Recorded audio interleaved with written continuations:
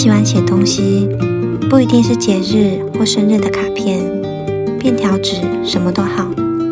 我喜欢透过文字与纸张传递出来的手感和温度。哇，喜欢吗？嗯，喜欢。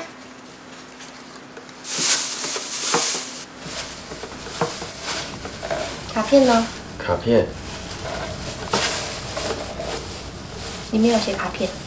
呃，没写。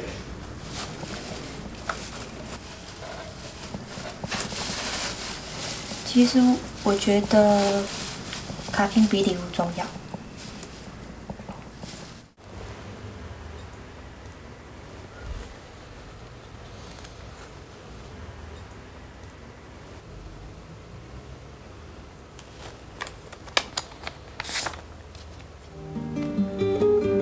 克里，生日快乐，也是我们四周年快乐。以下是我的真情告白，谢谢你总是包容我的坏脾气，习惯我的任性。虽然我从不跟你讲好话，不是嫌你脚臭、肚子大、体毛稀疏，而且常说“我才不爱你嘞”，但真的，我百分之六十是骗你的。至于那百分之四十，绝对是真的。Happy birthday！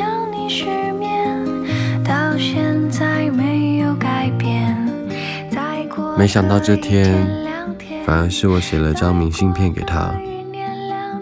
我突然有很多话想跟他讲，告诉他我最近听了什么音乐，有了哪些想法，做了什么事，看了什么电影。想不到。书写变成我们沟通的桥梁。